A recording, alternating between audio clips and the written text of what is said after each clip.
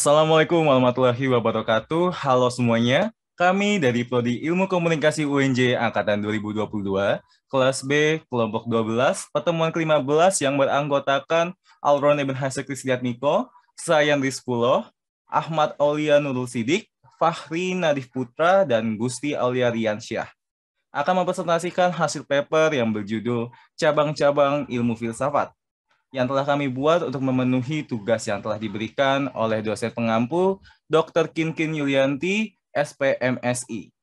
Baik, akan kami langsung mulai saja presentasi ini. Untuk yang pertama, Albert Camus merupakan seorang filsuf yang mengemukakan filsafat yang bernama absurdisme. Albert Camus lahir pada tanggal 7 November 1913 di Drean, Algeria, Prancis. Albert Camus merupakan salah seorang penulis besar dunia sastra barat, modern, dan lahir dari ibu berdarah Spanyol dan ayah Prancis. Camus kecil tidak banyak merasakan kasih sayang orang tuanya karena sang ayah meninggal pada tahun 1914 dalam Perang Mane saat Perang Dunia Pertama. Karena seluruh usaha dan kerja kerasnya, Kamus berhasil menyelesaikan studi filosofi dan memperoleh gelar sarjananya pada tahun 1935. Pada tahun yang sama, ketika Kamus menyelesaikan pendidikan formal tingkat sarjana, ia mendirikan Teatre du Travail dan mengubah namanya menjadi Teatre de Elquain dua tahun berikutnya. Kamus juga aktif menulis berbagai surat kabar lokal seperti Alge Republikain di periode 1937 sampai 1939 dan Soy Republikain di periode 1939 sampai 1940. Pada tahun 1940, Kamus menikah kembali dengan Francine Faure, seorang pianis dan ahli matematika.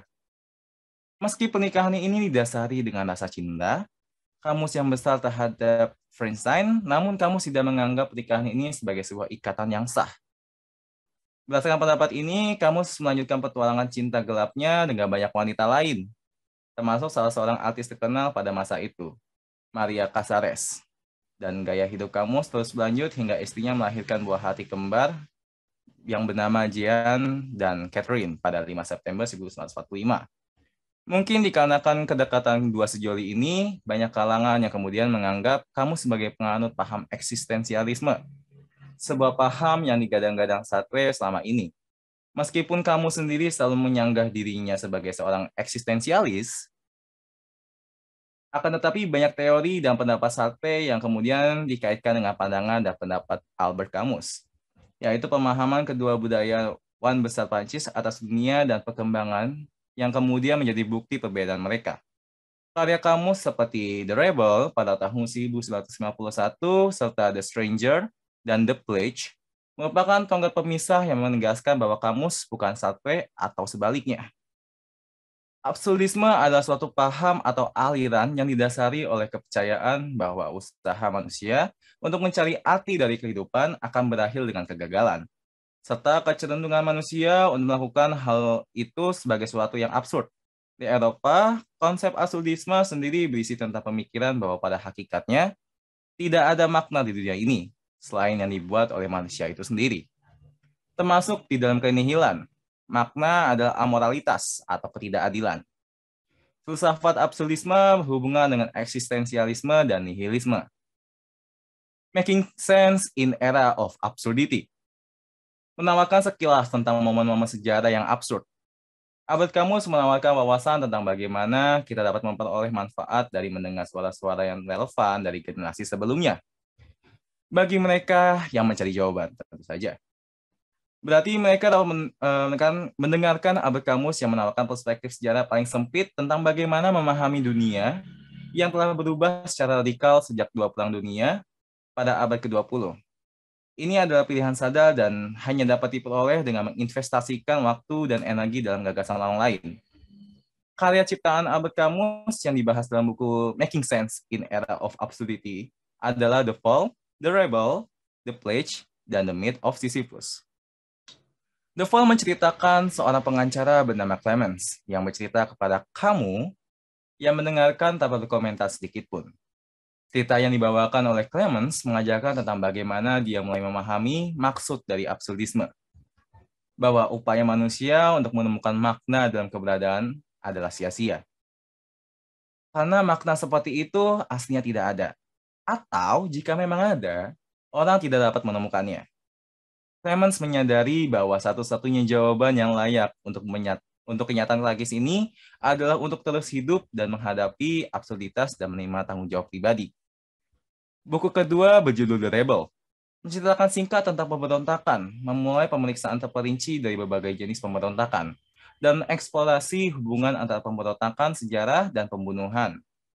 Pemberontakan metafisik menggunakan unsur-unsur mitologi Yunani, sejarah Romawi, dan Alkitab sebagai konteks untuk pemeriksaannya terhadap sejarah dan semangat pemberontakan. Dia kemudian mengeksplorasi karya pada filsuf Eropa, khususnya Nietzsche dan Hegel, untuk memeriksa hubungan pemberontakan dengan sistem kepercayaan kontemporer, khususnya nihilisme. Penulis menegaskan bahwa bukunya didefinisikan oleh keinginannya untuk menghadapi kenyataan masa kini, yang katanya didefinisikan oleh kejahatan yang dibenarkan. Khususnya kejahatan, pembunuhan sebagaimana dirasionalisasi pada oleh berbagai tingkat masyarakat. Dia menyarankan bahwa untuk memahami dan hidup dalam realitas, kita harus menganut paham nihilisme karena berhubungan dengan skeptis radikal atau pesimisme ekstrim. The Pledge. Cerita ini dimulai dengan penjelasan dari kota Oran, bahwa pada awalnya, kehidupan orang-orang di Oran aman, tenang, dan monoton. Namun, ketika banyak tikus yang mati, kehidupan sehari-hari mereka menjadi masalah yang sangat besar.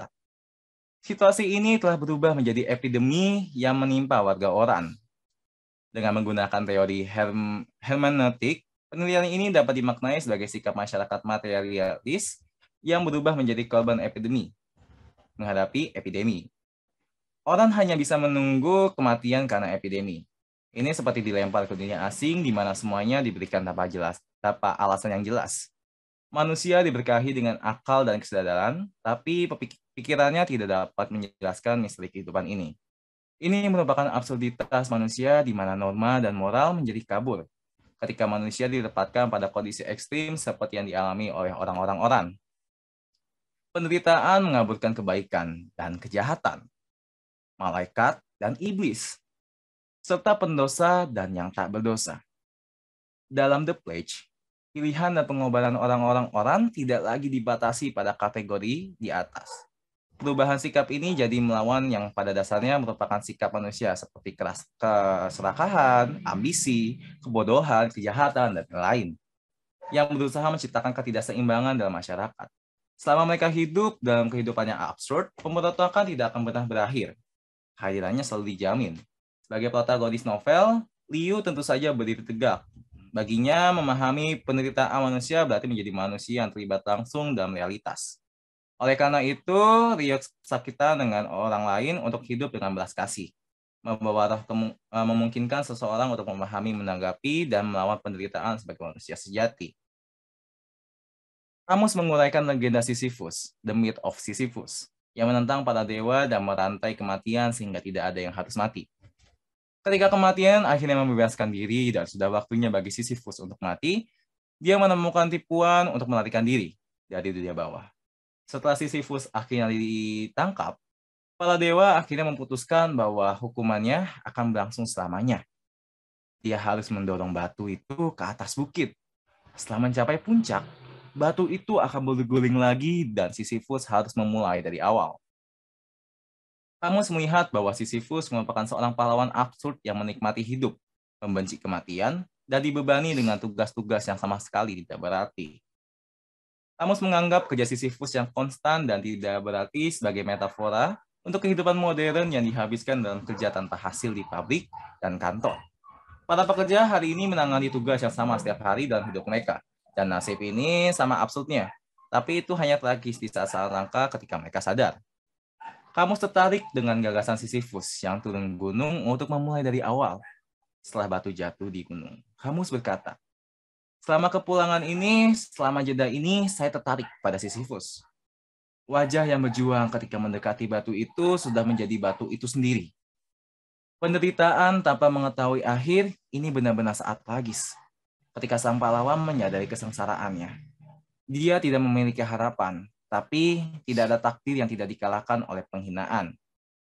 Mereka seperti orang baik untuk uh, dan terus mendorong Kamus berpendapat bahwa ketika Sisyphus mengakui kesia-siaan pekerjaannya dan kepastian nasibnya, dia dapat melihat absurditas situasinya dan mencapai keadaan penerimaan yang puas.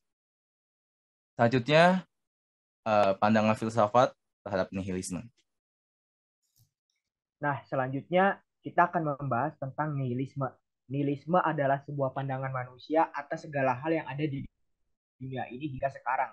Aliran ini merasa bahwa apa yang ada dan terjadi di dunia ini bersifat nihil atau yang artinya tidak memiliki tujuan dari awal diciptakannya.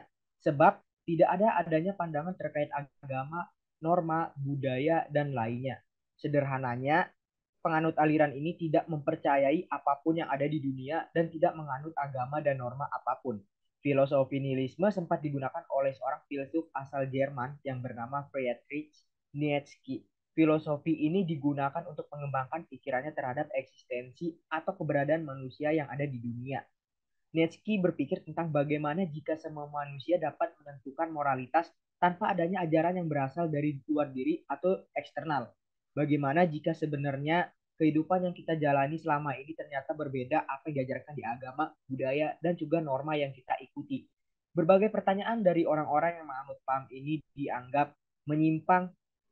Berbagai pertanyaan dari orang-orang yang menganut paham ini dianggap menyimpang dan bertentangan dengan prinsip sosial ada di masyarakat selanjutnya sejarah nihilisme.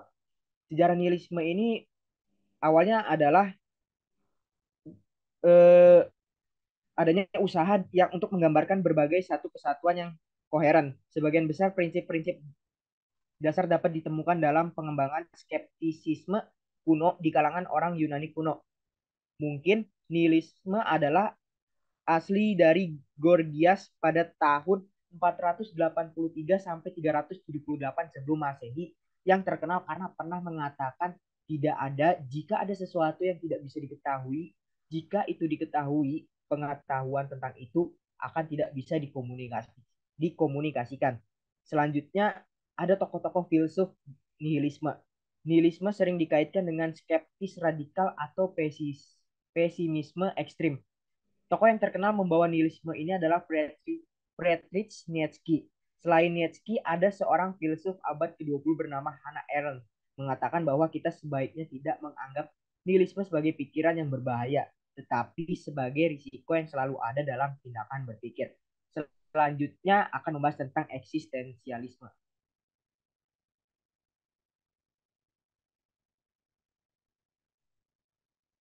Eksistensialisme pemikiran yang rasional di antara yang tidak rasional. Eksistensialisme aliran filsafat ini berpendapat bahwa manusialah yang mendefinisikan maknanya sendiri dalam hidup dan mencoba membuat keputusan yang rasional meskipun berada di alam semesta yang tidak rasional. Eksistensialisme pada umumnya akan berfokus pada pertanyaan tentang keberadaan manusia dan perasaan bahwa tidak ada tujuan atau penjelasan pada inti keberadaan. Kebanyakan eksistensial eksistensialis berpendapat bahwa karena tidak ada Tuhan atau kekuatan transenden lainnya, satu-satunya cara untuk melawan ketiadaan ini adalah dengan merangkul keberadaan guna mencari makna dalam hidup masing-masing individu. Dengan demikian, eksistensialisme percaya bahwa individu sepenuhnya bebas dan harus mengambil tanggung jawab pribadi untuk diri mereka sendiri. Walaupun dengan tanggung jawab ini kemungkinan besar akan memunculkan kecemasan, kesedihan, atau ketakutan yang mendalam. Oleh karena itu, ia menekankan tindakan, kebebasan, dan keputusan sebagai hal yang fundamental dan berpendapat bahwa satu-satunya cara untuk mengatasi kondisi kemanusiaan yang pada dasarnya absurd adalah dengan menjalankan kebebasan dan pilihan pribadi kita. Kemudian, sejarah eksistensialisme yang dikembangkan pada abad ke-19 oleh ahli filsuf Eksistensialisme berasal dari filsuf abad ke-19 oleh Sir Søren Kierkegaard dan Friedrich Nietzsche. Meskipun keduanya tidak menggunakan istilah tersebut dalam menerangkan pemikiran mereka, eksistensialis Prancis seperti Jean Paul, Albert Camus, dan Simon de Beauvoir menulis karya ilmiah dan fiksi yang mempopulerkan tema eksistensial seperti ketakutan, kebosanan, keterasingan, absurd, kebebasan, komitmen, dan ketiadaan. Selain itu, filsuf lainnya seperti Martin Heidegger, Karl Jaspers, dan Edmund Husserl, dan Fyodor Dostoevsky Franz Kafka, George Wilhelm Friedrich Hegel, dan Arthur Schopenhauer juga memiliki pengaruh penting pada perkembangan eksisten, eksistensialisme. Karena filosofi Kierkegaard dan Nietzsche ditulis sebagai tanggapan atau menentang mereka. Filsuf eksistensialisme yang pertama adalah Jean Paul Sartre merupakan seorang pencetus aliran eksistensialisme kebeba uh, yang lebih menekankan pada kebebasan manusia. Ia mengatakan kebenaran itu bersifat relatif bahwa manusia diciptakan mempunyai kebebasan untuk mengatur dan menentukan dirinya, karena masing-masing manusia bebas untuk melakukan sesuatu yang menurutnya benar. Kemudian ada Soren Kierkegaard, yaitu eksistensi manusia adalah suatu eksistensi yang dipilih melalui kebebasan. Menurutnya, eksistensi manusia bukan sesuatu yang diam, tetapi manusia itu senantiasa bergerak menuju kemungkinan. Ia menekankan harus ada keberanian dari manusia untuk mewujudkan apa yang dimungkinkan. Lalu yang ketiga ada Martin Buber. Eksistensialisme adalah nilai eksistensi manusia itu tidaklah murni dari manusia. Pendapatnya ini memang berbeda dari tokoh sebelumnya, tetapi masih dalam lingkungan eksistensialisme. Menurutnya eksistensi dapat dipengaruhi oleh hubungan sesamanya. Lalu ada kritik eksistensialisme. Walter Kaufman mengkritik, yaitu metode yang amat tidak jelas dan kebencian akan berbahaya bagi penggunaan akal budi yang begitu tampak dalam eksistensialisme. Para filsuf positifme, positivisme logis seperti Rudolf Carnap dan A. J. Ayer menyatakan bahwa kaum eksistensialis sering bingung mengenal verba to be dalam analis, analis mereka mengenai being. Khususnya mereka berkata bahwa verba is bersifat transitif dan sudah terpatri terlebih dahulu pada predikat. Misalnya, an apple is red, tanpa predikat kata itu tidak ada artinya dan para eksistensialis sering menyalahgunakan istilah itu.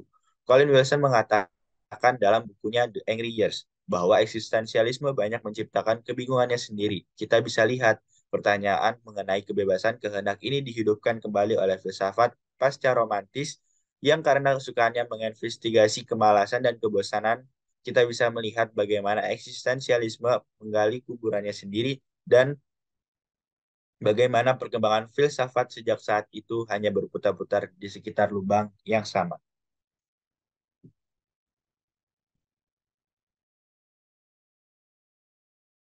Selanjutnya adalah absurdisme.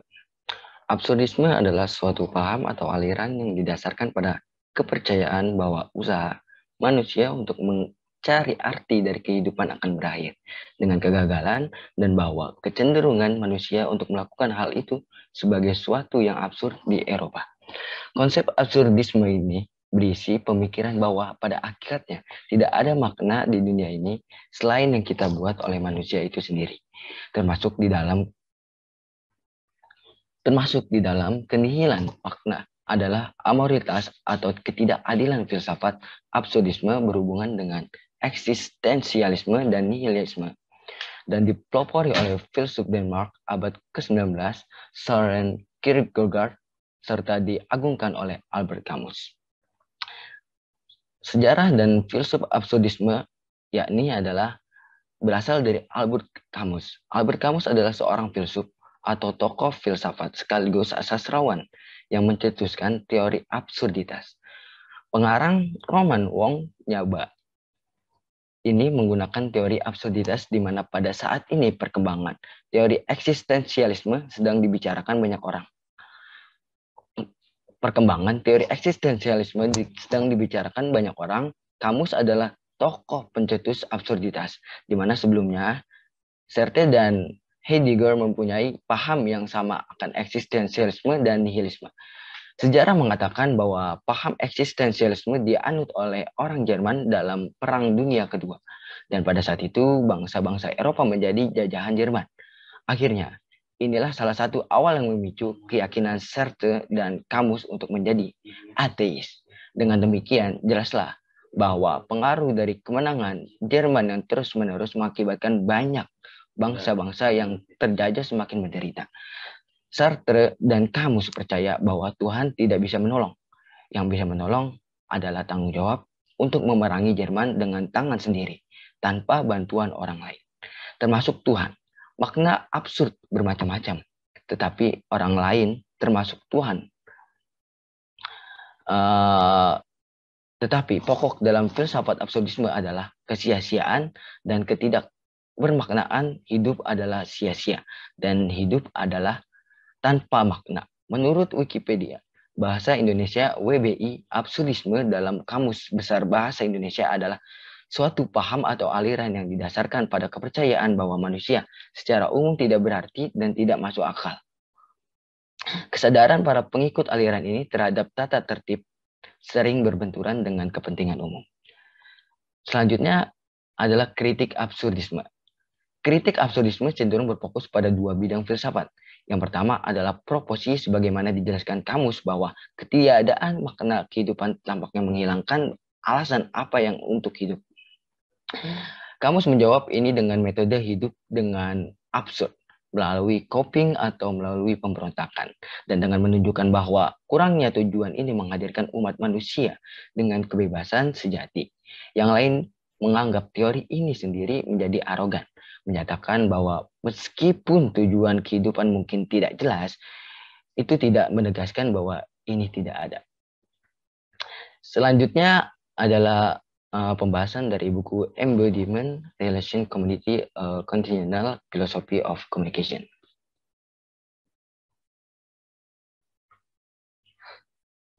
Embodiment Relation Community, a Continental Philosophy of Communication. Garnet C. Buchhardt menunjukkan dalam buku ini bagaimana komunikasi manusia dapat dipahami, tidak hanya sebagai proses transmisi mekanis, tetapi sebagai hubungan yang diwujudkan memperluas filosofi kontemporer bicara dan bahasa diri dan orang lain, komunitas dan kekebalan. Buku ini menantang banyak asumsi umum, eh, konstruksi dan masalah dalam teori komunikasi, dan memberikan wawasan yang menarik untuk penelitian masa depan dan menyediakan sumber daya baru. Komunikasi manusia telah lama dicirikan sebagai masalah penyampaian informasi atau berbagai pikiran dalam dan luar, melalui saluran pertukaran yang dimediasi Wisha membantah model ini dan berbagai teori yang memunculkannya. Wisha, filsuf yang memanfaatkan karya Giorgio Agamben, Roberto Esposito, Jean-Luc Nancy, dan Jacques Lacan mengkritik gagasan modern tentang subjek rasional tidak dibentuk oleh manusia. Manusia tidak hanya menggunakan, tetapi mewujudkan simbol-simbol dan konteks interaksi yang membentuk apa yang disebut dengan komunikasi. Pada karya Roberto Esposito, gaya berpikirnya menawarkan titik poros dari perspektif filosofis yang maju dalam buku ini. Ancaman bagi individu dan komunitas jika kita mendefinisikannya tidak hanya sebagai afinitas, yaitu melanggar batas-batas individu dalam paparan komunitas, tapi juga sebagai transfer ide-ide baru. Berbeda, bersaing, dan atau menyesatkan atau bahkan komentar langsung dan komentar yang tidak diinginkan. Teori psikoanalisis Jacques Lacan merupakan pengembangan dari teori psikoanalisis milik Sigmund Freud. Jika psikoanalisis Sigmund Freud menjelaskan tentang bagaimana kondisi kejiwaan seseorang, maka psikoanalisis Lacan lebih menjelaskan tentang proses perkembangan kejiwaan seseorang. Jean-Luc Nancy terkenal karena tulisannya tentang komunitas yang dia kembangkan sepanjang karirnya. Berbagai mata pelajaran seperti lukisan, sastra, dan seni media, pewujudan yang penuh gairah dan manusia. Diskusi berikut akan fokus terutama pada uh, di Binancy Corpus. Seperti yang dapat Anda simpulkan dari bagian-bagian yang hidup, di sini pertanyaan tentang keberadaan yang diwujudkan dan pemaparannya disajikan bersama-sama. Menurut Agaben, komunikasi adalah hubungan yang mencari identitas kebersamaan atau komunikasi. Penularan untuk memperjelas perlunya perlindungan dari sebagai label untuk batas hubungan antara diri sendiri dan orang lain. Individu dan komunitas atau komunikasi adalah interaksi, dialog, transmisi, dan berbagi atau komunikasi. Rasa keakraban diarahkan pada tujuan yang dimaksudkan dari pemahaman, persetujuan, dan kejelasan, bukan hanya latihan dan kesabaran. Akibatnya, ada juga bahaya komunikasi yang mengintai, potensi ambigu, eh, ambiguitas, kesalahan informasi, dan penipuan kebingungan dan kesalahpahaman, kesepakatan dan konflik antar individu dan kelompok.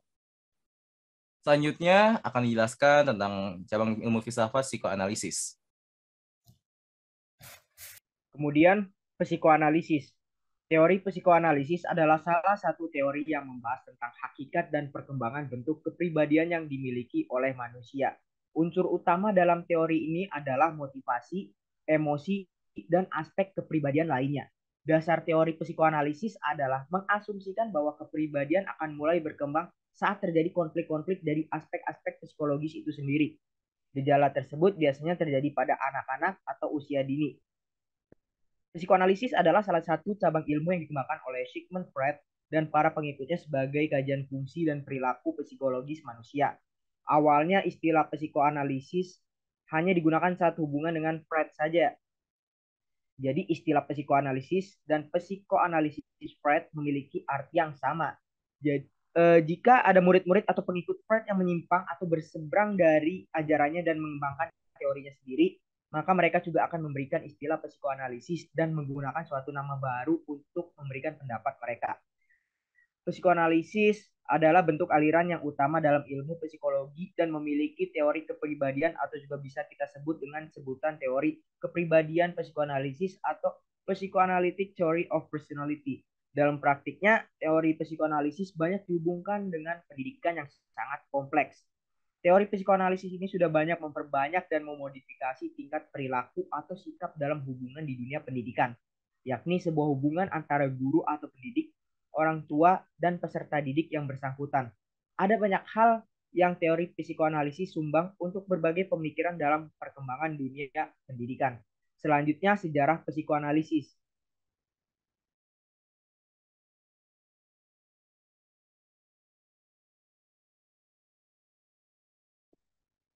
Sejarah psikoanalisis Dibandingkan dengan anak-anak lain seusianya, Freud tampak cerdas sejak usia dini. Dia masuk sekolah setahun lebih awal dari orang lain. Dia bisa berbicara bahasa Jerman, Yunani, Latin, Perancis, Inggris, dan juga Italia. Dia mulai membaca Shakespeare pada usia 8 tahun. Freud kemudian masuk Universitas Wina pada tahun 1873 pada usia 17 tahun, lalu menyelesaikan studi kedokterannya 8 tahun kemudian. Freud memberikan perhatian khusus pada neurologi dan menjadi spesialis dalam merawat orang-orang dengan gangguan neurologis. Pada tahun 1881, ia membuka klinik untuk orang-orang dengan gangguan mental dan emosionalnya. Istrinya, Masa Bernays, yang memulai bisnisnya untuk menambah pengetahuannya. Freud belajar di bawah bimbingan Jean-Martin Charcot, seorang psikiater terkenal di Prancis pada saat itu. Jean menggunakan hipnosis untuk merawat pasien yang tidak disukai Freud. Ketika saya mendengar Dr. Wina Joseph Breuer berbicara tentang teori lain, yaitu dengan mengajak pasien untuk berbicara tentang gejala yang mereka alami. Itu biasa dikenal sebagai teori asosiasi bebas yang disebut katarsis sawah. Brown menerapkan ini pada seorang pasien bernama Anna O. Pada akhirnya, Freud dan Breuer berkolaborasi dalam sebuah buku yang berjudul Studies in Hysteria. Namun, mereka sangat bentrok ketika Freud berspekulasi bahwa penyebab histeria adalah konflik seksual. Tetapannya menarik perhatian seluruh dunia kepadanya. Dia, dia ditakuti oleh berbagai pakar dari berbagai negara, seperti Ernest Jones dan dari Inggris, Carl Gustav Jung dari Zurich, dan Alfred Adler dari Wina.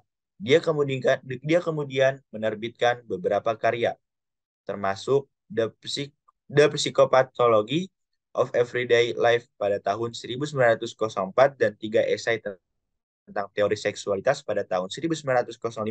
Pada tahun 1896, Freud percaya bahwa konflik seksual adalah dasar untuk perkembangan neurosis dan sebagian besar pasiennya melaporkan pengalaman seksual masa kanak-kanak yang traumatis. Selama tahun 1920-an dan 1930-an, Freud makmur, tetapi kesehatannya terus memburuk. Hal ini yang menyebabkan kebiasaan gaya hidup Freud yang buruk seperti merokok, minum minuman keras, dan penggunaan narkoba. Lalu setelah ini, putrinya Anna Freud meninggal dan Freud pindah ke London di mana Freud jatuh sakit dan meninggal di London pada 23 September pada tahun 1939. Lalu selanjutnya dilanjutkan oleh rekan saya. Lanjut ke kritik psikoanalisis. Teori psikoanalisa Freud telah melahirkan banyak kontroversi yang terjadi di ilmu psikologi sendiri. Banyak tokoh yang pro dan kontra terhadap teori psikoanalisis sendiri. Hal ini menimbulkan sikap kritis para pendukung setia terhadap psikoanalisa Freud dengan membuat teori-teori yang baru tetapi tetap memakai asas dasarnya psikoanalisa atau istilahnya neo-Freudian. Salah satu tokohnya adalah Erich Fromm. Erich Fromm dikenal sebagai terapis. Dia telah berlatih psikoanalisa selama lebih dari 50 tahun. Selama lebih dari 40 tahun, ia telah menjadi dosen, pengamat, dan dosen di lembaga pendidikan dan pelatihan di psikoanalitik di New York dan Meksiko. Ia lahir di Jerman pada tahun 1900. Ia menerima gelar dokter di Heidelberg pada tahun 1922, pindah ke Amerika Serikat pada tahun 1934, dan meninggal di Swiss pada tahun 1980. Teori Fromm adalah perpaduan unik dari ide-ide Freudian dan Marxis. Fred percaya bahwa kepribadian kita ditentukan oleh faktor biologis, sedangkan Marx percaya bahwa manusia ditentukan oleh masyarakat, terutama sistem ekonomi. Buku berjudul The Art of Berisi kritik, saran, dan pengamatan from terhadap metode yang digunakan dalam psikoanalisa. Dalam merawat pasien, From menawarkan teori lain ketika berada dengan ketika berhadapan dengan pasien. Dia bisa lebih manusiawi dengan pasiennya, artinya kita melihat pasien bukan sebagai robot, tetapi sebagai manusia yang memiliki hak dalam proses analisis seorang analisis seni tidak hanya harus memiliki kemampuan untuk mendengar segala sesuatu untuk memecahkan masalah pasien, tetapi juga harus dapat memahami sepenuhnya kondisi pasien. Fromm selalu menganggap dirinya serius.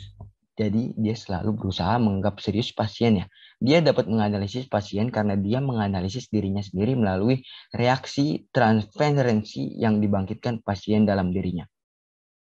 Buku ini bukanlah buku asli karya Erich Fromm, melainkan kumpulan ceramah, wawancara, dan seminar. Dokumen ini dibagi menjadi dua bagian. Bagian pertama adalah berjudul faktor-faktor yang mendorong perubahan status pasien dalam pengobatan analitis. Pada bagian ini, Fromm mengkritik pendapat Freud, terutama faktor-faktor penyebab neurosis dan faktor-faktor yang menyembuhkannya. Freud melihat neurosis sebagai konflik antara insting dan ego. Entah ego Anda tidak kuat atau insting Anda tidak terlalu atau insting Anda yang terlalu kuat, ego kehilangan kendali atas kekuatan pendorongannya. Menyebabkan neurosis, From mencoba melihat ke arah lain. Dia mengatakan bahwa manusia memiliki dua keinginan, hasrat yang sangat berbahaya atau gairah setan dengan kecenderungan destruktif yang kuat, obsesi dan narsisme ekstrim yang dapat menyebabkan penyakit serius dan lain-lain. Kedua, keinginan ini menentukan arah tindakan dan karakter seseorang. Fromm juga mengkritik teori Freud yang mengatakan bahwa trauma itu sering dikaitkan dengan sifat-sifat dasar seksual di dalamnya. Dia akan melihat trauma muncul dari usia awal, sedangkan Fromm mengatakan bahwa trauma itu merupakan suatu proses yang diperpanjang, di mana satu di satu pengalaman mengikuti yang lain dan pada akhirnya akan menjadi seperangkat kumpulan pengalaman bahkan lebih. Ia juga memberikan definisi trauma, yaitu suatu peristiwa melampaui batas beban yang ditolerir sirkuit saraf manusia. Karena ketidakmampuan seseorang dalam menerima beban terlalu besar, maka akan menciptakan efek, efek traumatis yang besar juga. Pada bagian kedua yang berjudul aspek-aspek terapeutis dan psikoanalisis, awalnya Fromm berusaha menjelaskan konsep dasar tentang psikoanalisis. Ia berpendapat bahwa psikoanalisis bukanlah sekedar terapi, melainkan suatu alat untuk memahami diri sendiri. Semakin kita memahami diri sendiri, tentu semakin tepat keputusan-keputusan yang kita ambil. Jadi kemampuan memahami, memahami diri sendiri ini merupakan syarat mutlak untuk memahami orang lain dan menjadi seorang analisis. Selanjutnya akan dibacakan studi kasus dari penelitian kita.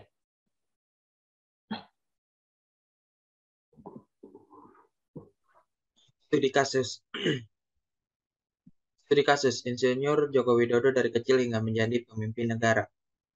Joko Widodo juga dikenal sebagai Jokowi adalah Presiden Indonesia. Beliau adalah anak sulung dari empat bersaudara dan lahir pada 21 Juni 1961 dari pasangan Wijanto Noto Miharjo dan Sujiatmi. Sejak kecil beliau sudah diajari sholat dan mengaji bersama teman-temannya. Kehidupan kehidupan pada masa kecilnya jauh dari kata berkecukupan. Beliau mengalami kesulitan dalam membayar sekolah dan juga untuk memenuhi kebutuhan sehari-hari. Jokowi pernah merasakan pahit dalam hidup dan harus membagi telur menjadi empat porsi untuk keluarganya, bahkan setiap hari. Dengan kesulitan ini, beliau membantu ayahnya meringankan beban sejak kecil. Sejak kecil, Jokowi bekerja sebagai ojek payung dan juga sebagai kuli panggul untuk kebutuhannya sendiri. Pada saat memasuki sekolah dasar, beliau bersekolah di SD Negeri 112 Tirto Yoso. Untuk sampai ke sekolah, beliau harus berjalan kaki sementara teman-temannya mengendari sepeda. Senyumnya tidak pernah pudar, tetapi beliau hanya bisa bermain di dekat rumah dan tidak memiliki kemewahan. Pada tahun pada usia 12 tahun, beliau bekerja sebagai penggergajian kayu. Jokowi mewarisi keterampilan ayahnya sebagai tukang kayu dan belajar kayu darinya. Setelah menyelesaikan sekolah dasar, beliau melanjutkan pendidikan di SMP Negeri 1 Surakarta dan SMA Negeri 6 Surakarta. Jokowi dikenal dengan prestasi akademiknya yang mumpuni, dengan nilai bagus, beliau masuk jurusan Kehutanan Fakultas Kehutanan Universitas Gajah Mada. Beliau tidak pernah membiarkan kesempatan ini berlalu. Selama pendidikannya, beliau mempelajari struktur kayu, penggunaan kayu, dan tekniknya. Bahkan gelar tersebut diraihnya pada tahun 1985 dengan menulis disertasi berjudul Studi Pola Konsumsi Kayu studi pola konsumsi kayu lapis pada penggunaan akhir di kota Surakarta. Selalu beliau pernah bekerja di BUMN PT Kertas Craft Aceh. Beliau mendapatkan posisi di area hutan pinus perkusi di dataran tinggi Gayo, Aceh Tengah. Namun beliau merasa tidak betah dan memilih untuk pulang menyusul istrinya yang saat itu sedang hamil tujuh bulan. Beliau bangkrut akan tetapi tidak menyerah dengan keadaan begitu saja. Beliau tetap usaha dan bekerja keras untuk bangkit. Pada tahun 1990, beliau bangkit dengan modal yang diperoleh dari meminjam uang. Beliau juga mendapatkan banyak kepercayaan karena kejujurannya serta kerja kerasnya sehingga dapat sehingga dapat kesempatan untuk berkeliling di negara-negara Eropa. Di negara Eropa, beliau mendapatkan inspirasi untuk diterapkan di daerah di Solo. Pemilihan wali kota daerah diadakan di kota Solo pada tahun 2005 dan Jokowi mencalonkan diri sebagai wali kota Surakarta. Beliau didukung oleh Partai Demokrasi Perjuangan atau PDIP dan Partai Kebangkitan Bangsa atau PKB. Di tangan Jokowi, kota Solo telah bertransformasi dan menjadi tempat belajar bagi perguruan tinggi nasional dan internasional. Di bawah kepemimpinan di bawah kepemimpinannya, tidak hanya bus Trans Batik Solo yang diperkenalkan, tetapi berbagai daerah dan jalan diresmikan, dan kota prestasi Solo sering dikunjungi oleh berbagai acara internasional. Pada tahun 2012, beliau dicalonkan oleh PDIP sebagai calon gubernur DKI Jakarta. Jokowi menunjuk Basuki Cahayapurnama sebagai wakilnya sejak Jokowi terpilih. Hasil pemilihan dari hasil pemilihan gubernur, popularitasnya meningkat dan Jokowi menjadi lebih terkenal. Berkat program seperti ini, beliau mendominasi pemilihan presiden dan menjadi salah satu calon presiden. Meski kabar Jokowi mencalonkan diri sebagai presiden masih simpang siur, Jokowi resmi mencalonkan diri sebagai Presiden Republik Indonesia pada tahun 2014. Jokowi dinyatakan sebagai pemenang pada 9 Juli menurut hasil perhitungan cepat pemilihan presiden oleh berbagai lembaga survei. Beliau resmi menjadi presiden dan memimpin peluncuran Kartu Indonesia Sehat, Kartu Indonesia Pintar, dan Kartu Indonesia Sejahtera. Setelah beliau resmi menjadi presiden dan memimpin peluncuran Kartu Indonesia Sehat atau KIS, Kartu Indonesia Pintar atau KIP, dan Kartu Indonesia Sejahtera atau KIS, hal ini dilakukan oleh pihak oposisi sebagai tindakan sementara untuk menahan kenaikan harga BBM. Dengan program ini, Jokowi mendapatkan banyak kritik karena meluncurkan program yang tidak memiliki kerangka hukum dan melanggar peraturan anggaran. Wakilnya Yusuf Kala membantah isu program kartu tersebut sebenarnya merupakan kelanjutan dari program yang sudah ada, sehingga jelas anggarannya mengikuti program juga. Dari APEC, beliau berhasil membawa komitmen investasi. Setelah pulang dari luar negeri, beliau menunjuk Faisal Basri sebagai ketua tim pemberantasan mafia migas. Beliau juga melantik Basuki Cahayapurnama sebagai Gubernur DKI Jakarta dan juga sebagai kenaik dan juga sebagai kenaikan BBM. Tentunya kebijakan ini diikuti demonstrasi dari berbagai daerah di Indonesia. Dari kenaikan tersebut, beliau menginginkan dana subsidi itu sebagai pembangunan infrastruktur dan kesehatan di Indonesia. Pada bidang pertanian, Jokowi membagikan 1.099 unit traktor tangan di Subang dengan harapan mengejut produksi dari petani. Pada bidang infrastruktur, banyak proyek pembangunan untuk mengejar ketertinggalan Indonesia, seperti jalan tol Trans Sumatera yang menghubungkan kota-kota di Pulau Sumatera sepanjang 2.818 km, tol Solo Kertosono dengan panjang 177 km, Pelabuhan Makassar, resmikan operasional Terminal Teluk Lamong sebagai bagian dari Greater Surabaya Metropolitan Port, dan masih banyak lagi. Pembahasan masalah. Filsafat berasal dari kata Yunani, filosofia yang berarti cita kebijaksanaan. Filsafat merupakan bidang pemikiran manusia yang paling penting karena bercita-cita untuk mencapai makna hidup paling hakiki. Meskipun bagi sebagian orang cara berpikir dalam ilmu filsafat dipandang sebagai suatu hal yang berbelit-belit dan membosankan. Cara berpikir dalam ilmu filsafat terbilang sangat terbuka, sangat membuka wawasan. Pemikiran-pemikiran dasar yang dikemukakan oleh para filsuf dahulu juga masih menjadi rujukan dalam melihat berbagai masalah yang muncul di dunia modern.